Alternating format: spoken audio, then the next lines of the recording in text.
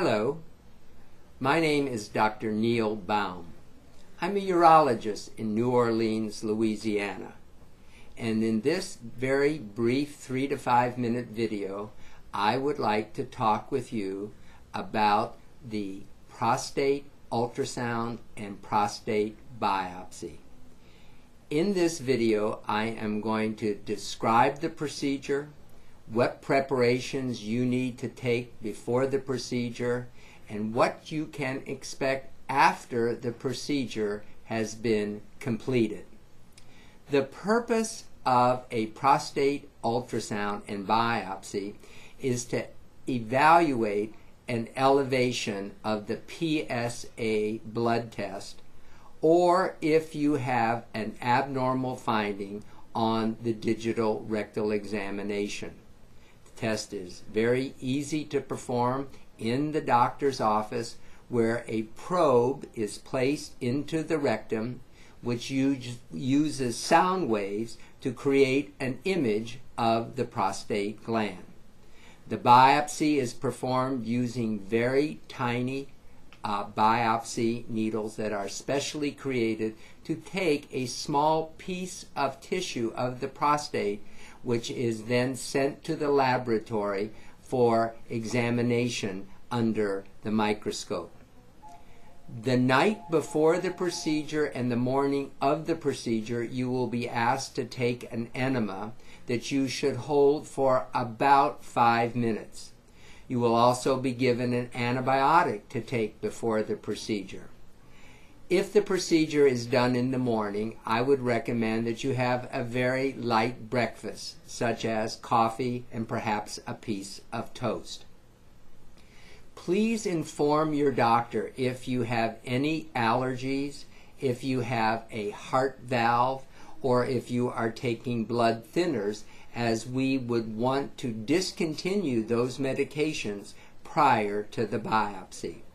I also caution you not to take any aspirin, aspirin products, or any anti inflammatory drugs for 7 to 10 days prior to the procedure.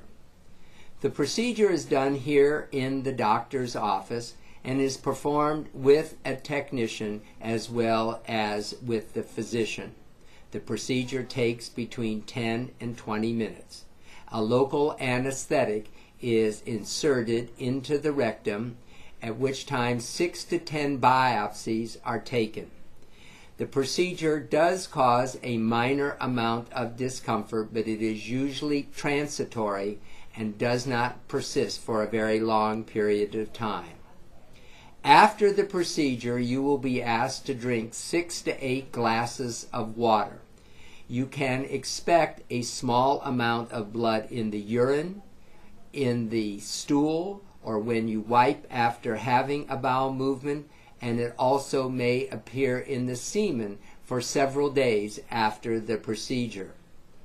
I caution you not to take any aspirin, aspirin products, blood thinners, or anti-inflammatory medication for several days after the procedure or until the urine has completely cleared of blood. You will also be instructed to take an antibiotic for approximately two to three days after the procedure. You can safely resume all activities when the urine and stool are without blood. I would like for you to contact the physician if you have a temperature greater than 100 degrees after the procedure, if you have difficulty urinating, if the blood in the urine does not clear after drinking extra volumes of water or liquids. Most men will experience a minimal discomfort or problems after the procedure. You will also be asked to make an appointment with the office to go over the pathology report in approximately one week after the procedure has been performed. I know you may have some additional questions regarding the ultrasound of the prostate gland and the prostate biopsy. I would like to encourage you to go to my website, www.neilbaum.com, or contact my office at 504 891 8454 for any additional questions. Thank you.